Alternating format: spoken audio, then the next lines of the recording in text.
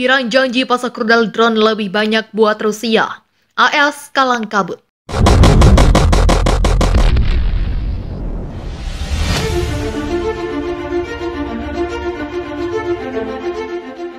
Iran berjanji akan mengirim rudal dan pesawat nirawak lebih banyak lagi bagi Rusia guna melancarkan invasinya ke Ukraina.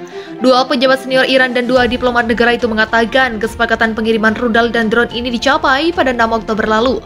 Saat itu Wakil Presiden pertama Iran Muhammad Moghber bersama dua jenderal Garda Revolusi Iran dan pejabat Dewan Keamanan Nasional tertinggi Iran mengunjungi Moskow untuk nego pengiriman senjata. Rusia telah meminta lebih banyak drone dan rudal balistik dengan akurasi lebih baik, terutama jenis rudal Fateh dan Zolfagar. Kata salah satu diplomat Iran yang terlibat dalam negosiasi itu kepada Reuters pada Selasa 18 Oktober. Fateh 110 dan Zolfagar adalah rudal balistik darat ke darat jarak pendek yang mampu menyerang target pada jarak antara 300 km dan 700 km. Sementara itu salah satu drone yang akan dipasok Iran untuk Rusia yakni Shahed 136 pesawat nirawak bersayap Delta yang digunakan untuk serangan udara ke darat kamikaze. Drone jenis ini membawa ledak kecil yang meledak saat terjadi benturan.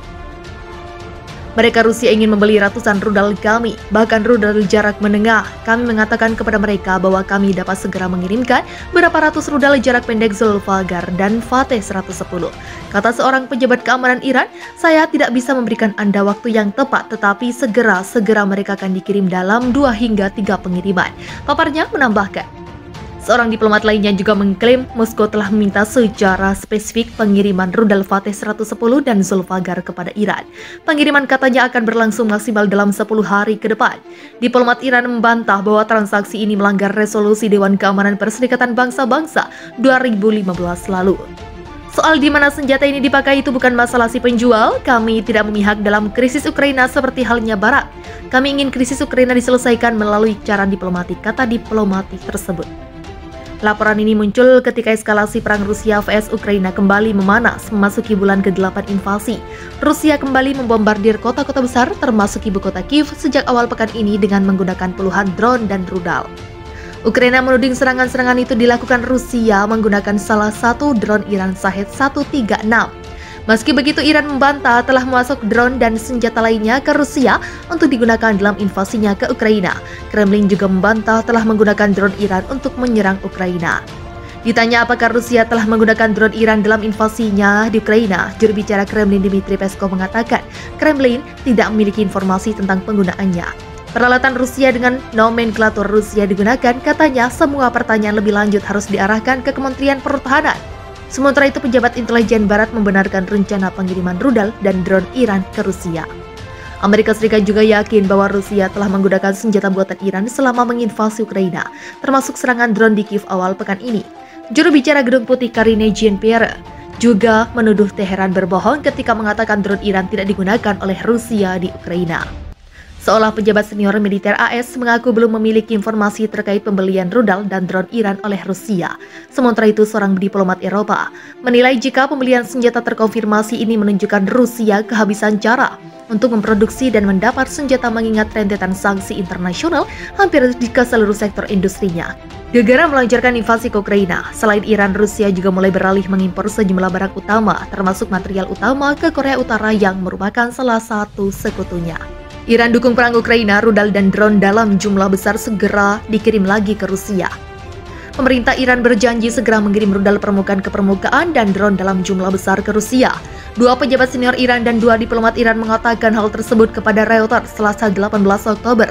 Langkah itu dinilai akan membuat marah Amerika Serikat dan kekuatan barat lainnya Uni Eropa.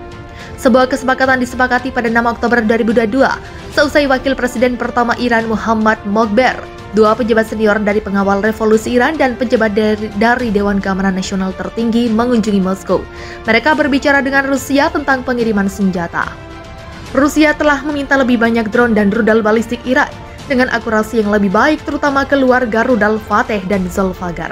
Kata salah satu diplomat Iran, seorang pejabat barat membenarkannya dengan mengatakan ada kesepakatan antara Iran dan Rusia untuk menyediakan rudal balistik jarak pendek permukaan ke permukaan termasuk Zolfagar.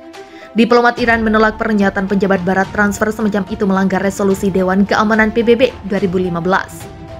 di mana digunakan bukan masalah penjual dan kami tidak memihak dalam krisis Ukraina seperti Barat, ujarnya.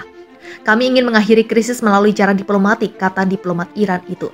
Ukraina telah melaporkan serentetan serangan Rusia menggunakan drone Shahed 136 buatan Iran dalam beberapa pekan terakhir ini. Iran telah membantah memasok drone ke Rusia. Kremlin pada Selasa 18 Oktober juga membantah pasukannya telah menggunakan drone Iran untuk menyerang Ukraina. Ditanya apakah Rusia telah menggunakan drone Iran dalam kampanyenya di Ukraina, juru bicara Kremlin Dmitry Peskov mengatakan tidak memiliki informasi tentang penggunaannya. Peralatan Rusia dengan menomenklatur Rusia digunakan katanya. Semua pertanyaan lebih lanjut harus diarahkan ke Kementerian Pertahanan, tambahnya. Kementerian tidak segera membalas permintaan komentar. Munculnya rudal Iran di samping drone di gudang senjata Moskow dapat dalam perang dengan Ukraina akan meningkatkan ketegangan antara Iran dan Amerika Serikat dan kekuatan barat lainnya. Dengan menggunakan enam drone kamikaze buatan Iran, militer Rusia dilaporkan telah menghantam sebuah gedung di kawasan Bila Servka ke sekitar 75 km dari ibu kota Ukraina Kiev. Dilansir Gridor.id dari artikel terbitan tribunnews.com 7 Oktober 2022, Rentetan serangan drone kamikaze pada Rabu 5 Oktober merupakan kali pertama yang dilakukan Rusia. Setelah tiga minggu terakhir, pasukan Vladimir Putin ini melakukan serangkaian serangan dengan menggunakan drone Shahed 136 buatan Iran. Pesawat tabrawak diluncurkan dari daerah pendudukan di Ukraina Selatan dan enam pesawat tabrawak lainnya telah ditembak jatuh sebelum mencapai target mereka. Ini adalah ancaman baru bagi semua pasukan pertahanan Ukraina, kata juru bicara Angkatan Udara Ukraina Yuri Ihnat. Tak jelas mengapa Rusia melepaskan enam pesawat Tabrawak ke kawasan padat penduduk itu.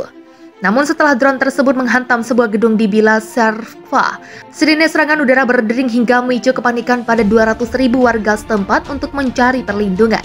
Ada suara menderu, suara menusuk, saya mendengar serangan pertama. Yang kedua, saya lihat dan dengar. Ada raungan dan kemudian diikuti ledakan.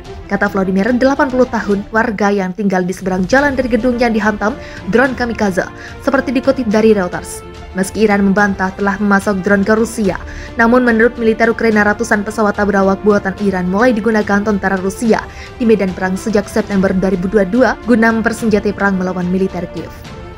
Imbas dari ledakan dari drone tersebut, salah satu gedung di Bila Serva mengalami kebakaran hebat. Puluhan petugas pemadam kebakaran bahkan turut diterjunkan untuk memadamkan kobaran api.